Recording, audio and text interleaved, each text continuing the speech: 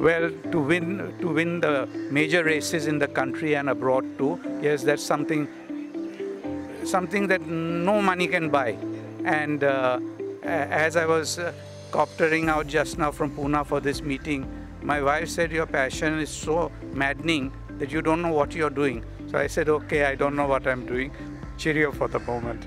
I have to be aware. It's so uh, enticing and passion. If you have passion, you can just not stop.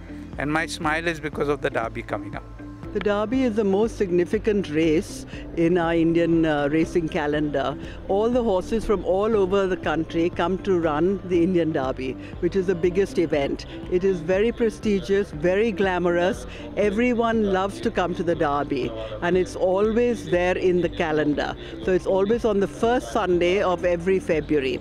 So we look forward to seeing everyone here at the Derby, and it's well worth the visit. It's an exciting opportunity for us to be partnering with, uh, you know, the Kingfisher Ultra Indian Derby. It's the most sought after race in the racing calendar, and a derby is typically beyond racing.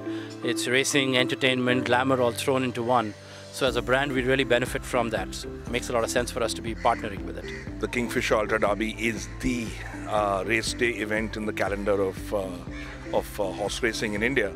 Um, and we, as a ticketing platform, given the kind of reach and leadership position we have, it's really our pleasure and privilege to be associated with the Kingfisher Derby, uh, especially in a, in a time when uh, uh, the committee at the RWITC is trying to build uh, and aggregate new communities, especially the young millennials uh, and the younger fans in India.